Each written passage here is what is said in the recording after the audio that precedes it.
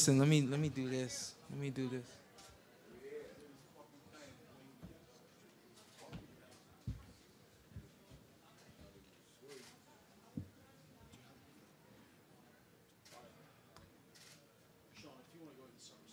Yeah, I'm about to start right now.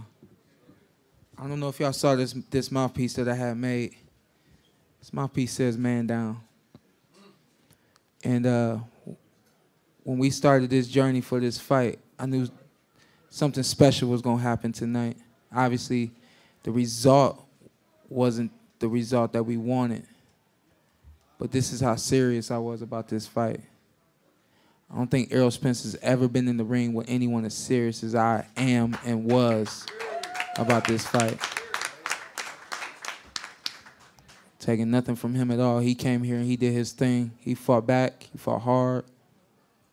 But I just want y'all to know a lot of people out there say he was the boogeyman. A lot of people out there said I couldn't take his punches. He was too big. Uh, he was too long. And the list goes on from there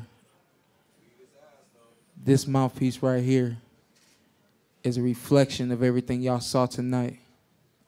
A reflection of heart, a reflection of will, re- reflection of skill, love, the whole nine. So what y'all saw tonight, y'all, everybody's saying it's an instant classic. You're saying it's the fight of the year, so on and so forth. The man down was coming for the man down. And We put on a fantastic performance tonight. I'll, I'll, I'll thank him again and again and again. He did a fantastic job. But I just want y'all to know that ain't nobody ever gonna go at him the way I went at him.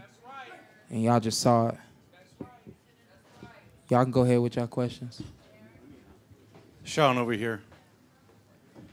Congratulations on a great performance. Uh, after after the fight, you nodded your head in approval. You were displeased. Uh, you landed the most shots on Errol Spence that anyone has in his entire career. Did you feel that you won that fight? I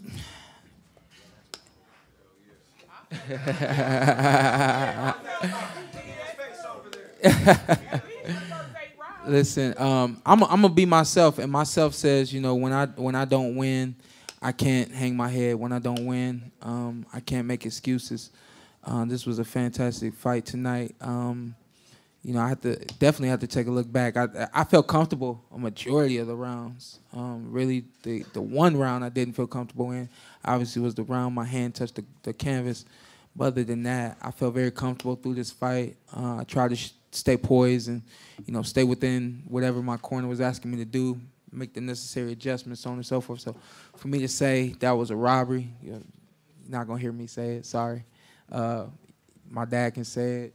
Barry can say it. Everybody else can say it, but that ain't gonna come from me.